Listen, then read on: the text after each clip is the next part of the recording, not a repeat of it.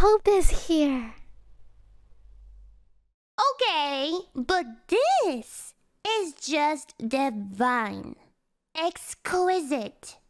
New Hololive members are used to getting a warm welcome from the fans, but IRyS, the newest member, received such an explosive outpouring of support that Twitter thought it was fishy and temporarily blocked her account. Don't get me mad. I can be scary when mad. What makes the arrival of IRyS so special, and what makes her different from the other Hololive English members? I'm Matrix, and in this video I'll be giving you a complete introduction to IRyS, from her design and personality to her streaming habits. I've also invited my friend Waifu Theory to give her expert analysis of the lore in IRyS's first music video, so stay tuned for that. On July 6th, the official Hololive English channel streamed a video with an 8-hour countdown, which many people speculated to be the announcement of Generation 2. It actually turned out, as some people correctly guessed, to be the reveal of a V singer, a separate position that Hololive put out a casting call for back in November 2020. I'll get more into what that means in a bit. The livestream ended with a shot of a double bar and repeat symbol used in music, which also was the first tweet made by IRyS on her Twitter account, but the livestream created such a wave of hype within the community that IRyS received tens of thousands of followers immediately, and about 20 minutes after her initial tweet, her Twitter and YouTube accounts were blocked due to excessive activity. The issue was fixed shortly thereafter, but it's safe to say that we've never seen this scale of support for a Hololive member before. IRyS hit 500,000 YouTube subscribers in only 13 days, to put that into perspective, that's 4 days faster than Gura.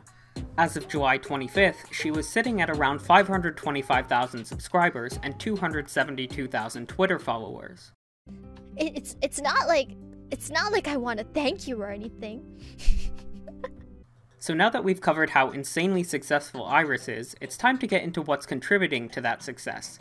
The first thing you need to know about IRyS is that she's a V singer, rather than being part of a traditional generation of Hololive. Essentially what that means is that her primary purpose with the company is to make music. A day after her debut stream, IRyS dropped her first EP, called Caesura of Despair. A caesura is a notation in either music or poetry that indicates a pause or break. Therefore, IRyS's album is intended to be a break from despair because her goal is to bring hope to the world. That's another thing you'll notice about IRyS. She talks about hope and despair more than your average Danganronpa character. Hope has descended. But I think that's a very fitting theme. The past year and a half has been incredibly difficult for everyone, and has put many people in a bad mental state. So I think the idea of bringing hope through music, especially as conditions start to improve in many places, is perfect. IRyS's album includes four songs, each of which sounds like it could be an anime opening. The lyrics include a mix of English and Japanese, and as a side note, she also speaks both languages, and the songs are a mix of rock and electronic sounds. I think that the third song, Here Comes Hope, has the most unique sound. The guitar instrumentals are a little harder, and it sounds a bit like the band Myth and Roid without the autotune. I encourage you to give the EP a listen, as it's really incredible work. IRyS is mostly self-taught when it comes to singing, too. I am like like 99% self-taught, if that makes sense. IRyS has also been releasing covers of other Hololive members' songs in addition to her original work, so it looks like we'll see a wide variety of musical content from her. I find it funny how like you know in the internet world when when people say thick, they always put like the T H I C C. Like what happened to the K? now I want to transition into talking more about IRyS's design and personality. IRyS is a Nephilim or a half-angel, half-demon, though she's explicitly said she's not the child of Kanata and Towa from Hololive Japan. IRyS has horns, a black and white design including a halo, and heterochromia in her eyes. With this description, you'd think she would be the edgiest character on the planet. But no, quite the opposite. IRyS is actually one of the most soft-spoken and sweetest sounding Hololive members. As for my age, well, as long as you've had hope in your heart, that is my age. At the same time, she has a very strong presence, and you can really feel the passion she has for music and for her goal of bringing hope. She also has a lot of confidence, as evidenced by the fact that she didn't get outwardly flustered despite having technical difficulties immediately after starting her debut stream. In addition, IRyS is quick to crack jokes, and she has an appreciation for puns similar to Nina Mai Inanis. IRyS, it's IRyS. Lots of VTubers have cute quirks that end up being part of their image, like Pekora's laugh or Calliope Mori's guh. With IRyS, one defining feature I've noticed is that when she's excited about something, she'll nod rapidly. This also accentuates her hair, which is an incredible multi-layered structure that has amazing physics. The last thing that I want to bring up about IRyS's appearance is that I feel like she has a much more realistic aesthetic in terms of the way her face is structured and skin is shaded compared to the other Hololive English members. She has an appearance that really draws you in with its novelty. okay, let me laugh my way up here. So now that I've talked about IRyS's music and her design, I want to pass it over to my friend Waifu Theory for a segment that combines both, an analysis of the lore in IRyS's first music video, after which I'll give you some final details about what to expect from IRyS's streams. Take it away, Waifu Theory. Hey everyone, it's Waifu Theory here to introduce you to the lore of IRyS and show you some things that aren't obvious. We'll start with her Caesura of Despair MV. So, we know from this MV that IRyS is here to bring hope to the world. She has descended from above to revitalize the planet. The MV shows her cleansing and purifying her surroundings and fixing what is decaying and broken. This time, I'm not going to break down specific parts of the music video. It's clear how the images relate to the theme. She's standing on top of Tokyo Tower and restoring the city to its former glory. The thing that stands out the most to me is that IRyS is alone the whole time. Why is it that we see Abandon All Hope flash across the screen at the end of the music video? Didn't IRyS just restore hope? Specifically, this is half of a quote from Dante's Inferno Abandon all hope, ye who enter here. This quote is inscribed on the gateway to hell. I believe the second half of the song explains why we see this. The lyrics of the second half, along with IRyS's aloneness during the music video, makes it clear that the hope she brings is reserved for the rest of the world. What do I mean by that? Let's first examine this line. Time is running too fast and I'm left behind in solitude. She then follows it up later by stating that she is singing a nostalgic but sad song.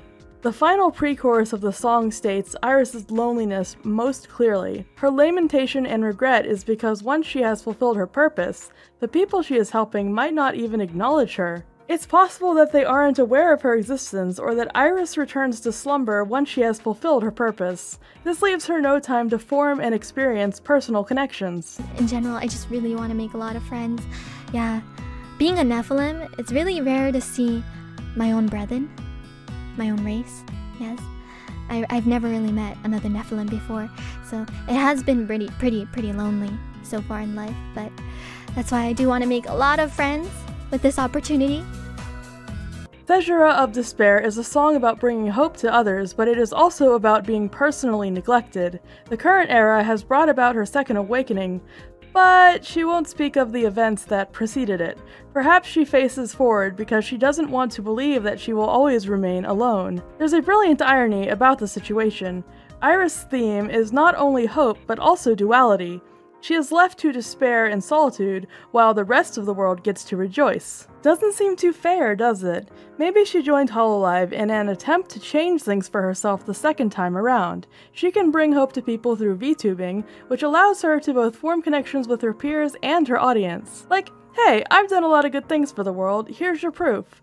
Maybe I'd be pretty chill to hang out with. And she is, so give her streams a watch and see what she's about. IRyS is a Nephilim, but the Nephilim in ancient religious texts were interpreted as either giants or as the union between angels and humans. The classification of Nephilim as part angel and part demon is a modern creation that appears in games like Diablo 3 and the 2013 remake of Devil May Cry. It makes sense that IRyS is a younger form of Nephilim and appears in a modern setting. Finally, there's the mystery of her name.